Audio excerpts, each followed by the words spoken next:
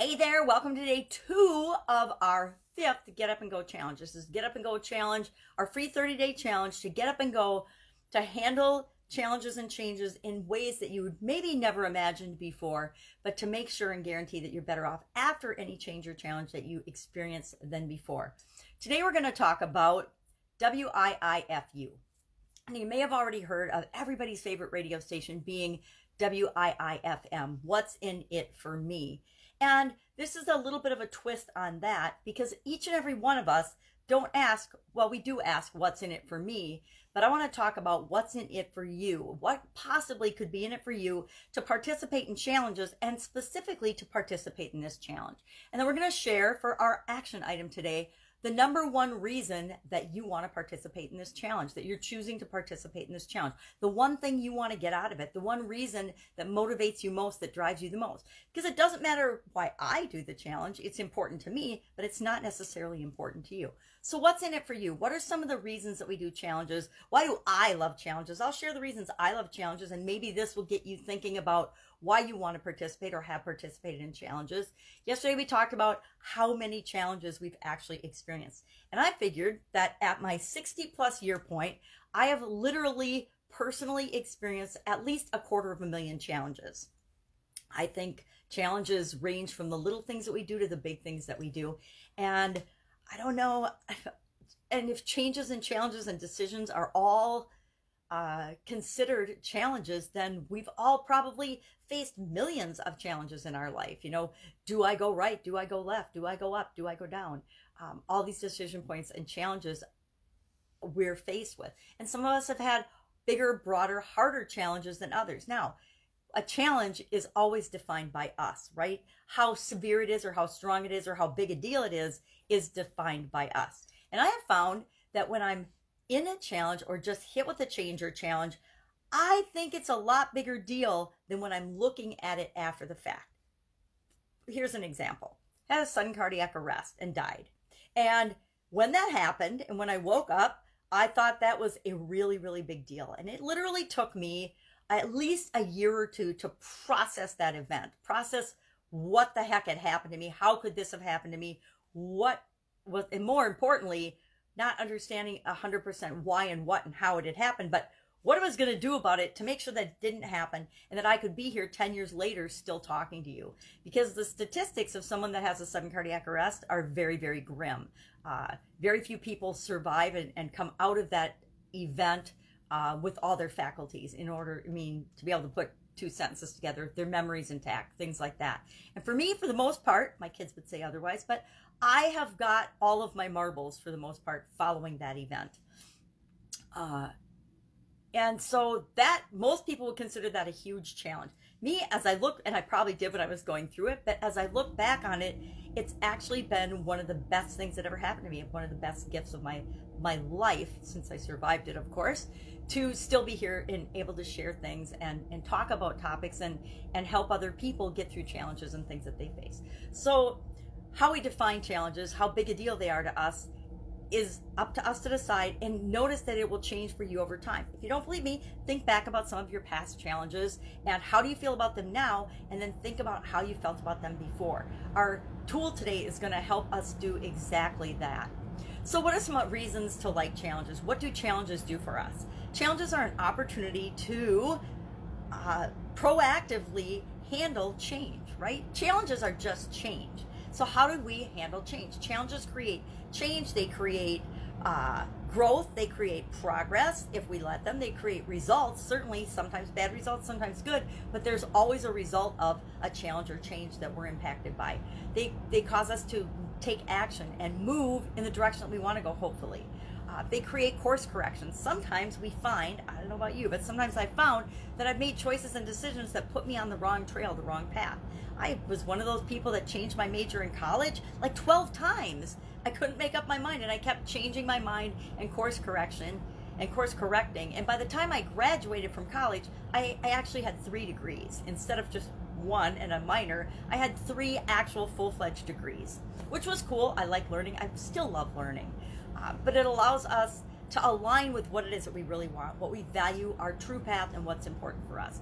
Challenges and changes allow us to be ourselves. They, they remind us of who we are and um, that we're all actually incredible, awesome, resilient, creative, smart, you know, resourceful human beings, and that we have the ability to pivot and change and course correct and go after what it is that we want. We have the they allow us to be the example of how we want to show up in the world for the others, how we want to be a role model for other people, whether it's the people that we interact with, our friends and family, our children, uh, challenges and overcoming them, and how we handle them is the best example for others.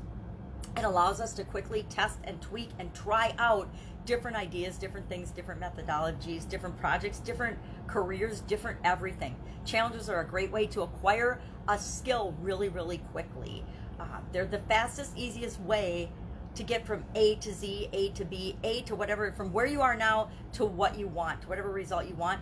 Challenges are the fastest way to do that and the easiest way to do that, believe it or not, in any area or aspect of your life. And we'll talk about all the, the areas and aspects of your life throughout the challenge, not just our careers, not just financial, not just our jobs, not just our mindset, not just our spirituality, but we'll touch on all and we will install a framework that allows us to deal with them in, in the way that's best for us to guarantee we have better results after any change or challenge than before. So, what's our tool today? Our tool today is something called a set point. Think of your thermostat in your house, right? You can hear my furnace running because it's winter in Wisconsin. We set our thermostat to a certain temperature, and when the temperature drops below that temp that particular setting, our furnace kicks on and it blows warm air in the house. Works the same way, only in the reverse with cooling for air conditioning if you happen to be in a warm climate. So think of our set point as our own thermostat, our own furnace. And we all have that. We all have set points for pretty much everything in our life. We have a love set point, we have a financial set point, we have a change and challenge set point. Now, I like to give my set point. I like to know where I am. I'm a, I'm a, a nerdy engineer, so I like to put numbers and objective measures to things whenever possible. So, one of the early times when I did this particular challenge, I started to ask myself, all right, how, how good am I about challenges? How resistant to challenges and changes am I uh, it, it, as I go into this? And I thought that a good one to look at for almost all of us, it's something we pretty much all have in common right now, is how I felt and how resistant I was to change and challenges when COVID 19 hit. Now, if I rate this on a scale of 1 to 10, which is what I do, um, I, I'm always measuring things for myself. So, on a scale of 1 to 10, 1 being easy peasy, no resistance, I just go with the flow, 10 being I have tons of horrible resistance. I'm going to push against this change and this challenge no matter what. I'm going to go kicking and screaming and fighting into the brave new world or whatever you want to call it. So when COVID first hit, I gave myself about a seven because I was still pretty resistant, but I didn't give myself an, an, a nine or a 10, even though in some areas I felt really, really resistant. But I have over the last couple of years as I personally am legally blind. So as I've lost my vision, I've had to change and, and adjust to a lot of things personally over the last two years. So for me, when COVID hit, I kind of felt selfishly like other people were just catching up with me. And so I only had about a seven resistance to having to pivot and change all my ways again. Mainly because I was a little resentful that I've been changing so much already. now, as I, and so that was my set point when I first started. Get up and go challenge one, I would say definitely a seven for being pretty resistant. I mean, I was pushing back. I thought it was ridiculous. I thought it was horrible and whining and bitching and moaning and complaining, like we human beings sometimes do. And now, as I'm heading into Get Up and Go Challenge 5, I say my resistance is a four, maybe a four, probably even a little less, but I always like to have continuous room to grow. So I'd say there are still things that upset me and I push back on with respect to COVID restrictions and things. Think Thanksgiving and holidays. When people are telling us how we can celebrate our holidays and whether we can go to, to service and church or not, that, that sort of irritates me. So, for the fun of it today, as we go into this new challenge, what is your personal thermostat, your personal set point. What would you give yourself for a number? And you don't have to share it in the comments below. Today we're just going to share what is the number one, what's in it for you, uh, aspect. What's in it for you to do this challenge, to participate in this challenge? Because I want to know, because that helps me tailor the information to make sure that you get your needs met.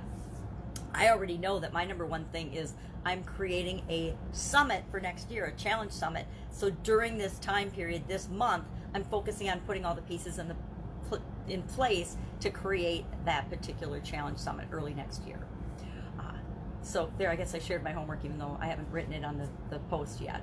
Uh, but today, what's your set point? Again, I'm, I'm going into this one with about a four, probably because I'm a little resistant to putting together the, the summit for the challenge, but I'm not resistant to any of the information that we're going to talk about and share. That would be about a one because I'm, I'm ready to spit it out and, and flow and share. So, what's in it for you? What reason for the challenge? Just for the fun of it, figure out your set point, and I will be with you tomorrow with our next little block in our Get Up and Go challenge. Have an amazing day. Any questions? Hit me up below.